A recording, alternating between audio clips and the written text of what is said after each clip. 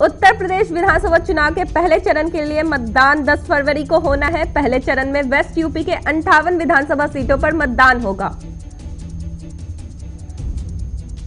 उत्तर प्रदेश के अंठावन विधानसभा सीटों में कुल छह सौ तेईस उम्मीदवार अपना चुनावी भाग्य अजमा रहे हैं, जिनके भाग्य का फैसला 11 जिलों के मतदाता करेंगे।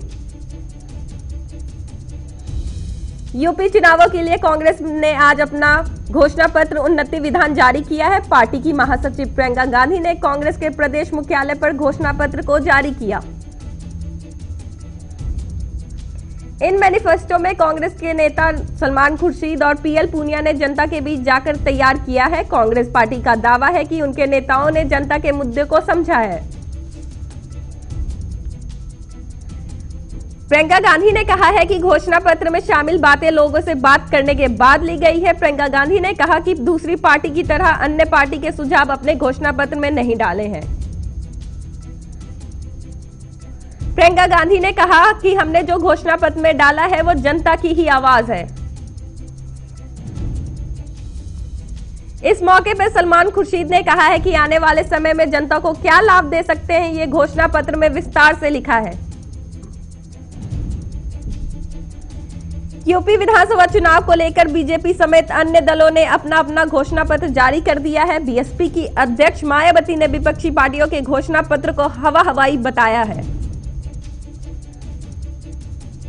उन्होंने कहा है कि केवल बसपा ही यूपी को गड्ढा, हिंसा, दंगा मुक्त बना सकती है और राज्य में रोज़गार और विकास युक्त भरोसेमंद सरकार दे सकती है।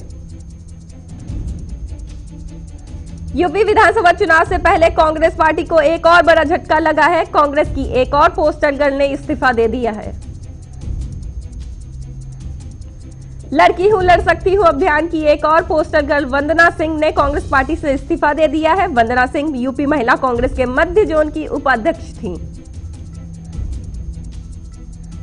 चुनाव प्रचार के आखिरी दिन कांग्रेस की प्रियंका गांधी के रोड शो के बाद कांग्रेस प्रत्याशियों समेत 2500 लोगों के खिलाफ मामला दर्ज किया गया है।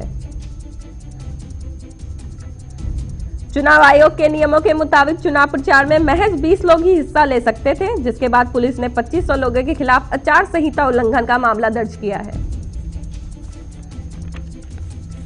पंजाब कांग्रेस के प्रधान नवजोत सिंह सिद्धू ने एक बार फिर से सुर्खियों में है। सिद्धू ने एक वीडियो ट्वीट करके खुद को पंजाब का सच्चा सबूत होने का दावा किया है। सिद्धू ने इस वीडियो के माध्यम से अपना पूरा राजनीतिक सफ़र कुर्बानी वाला दर्शाने का प्रयास किया है। वीडियो में सिद्धू ने अपने तल्ख अंदाज में बोल रहे हैं कि I am not for sale Uttar Pradesh विधानसभा चुनाव के लिए आज़ाद समाज पार्टी के मुखिया चंद्रशेखर आज़ाद ने गोरखपुर शहर सीट से नामांकन दाखिल किया। चंद्रशेखर ने सीएम योगी के खिलाफ नामांकन दाखिल किया है।